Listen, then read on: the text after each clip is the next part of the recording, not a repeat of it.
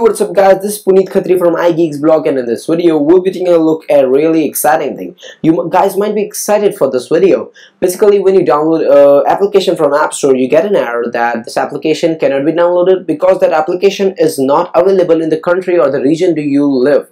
So in this video we'll be taking a look at how to change the country or the region for your Apple ID. So guys what you need to do is just go into settings once you're there in settings, you need to scroll down and go into iTunes and App Store. Just select that option. And here you at the top, you have your Apple ID written. So guys, you need to click right on your Apple ID. You have now four options. So which one do you want to choose? You need to click on the first one, view my Apple ID.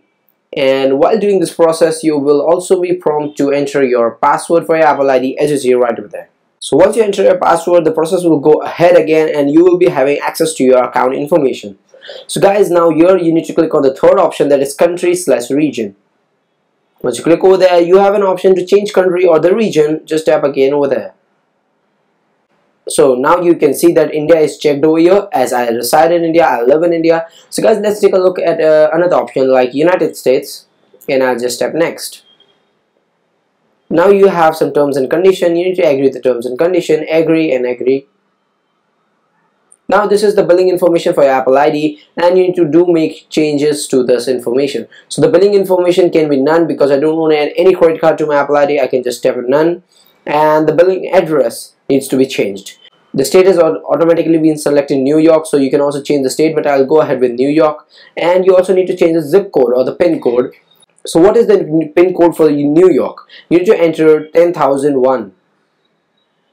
This uh, pin code which is for New York State. Once you change these couple of settings, just hit next.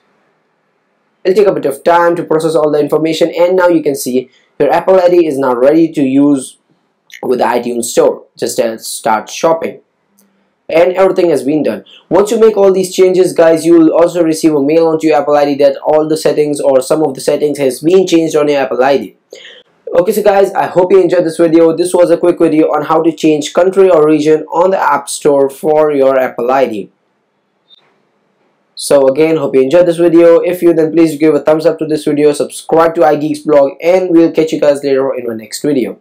Peace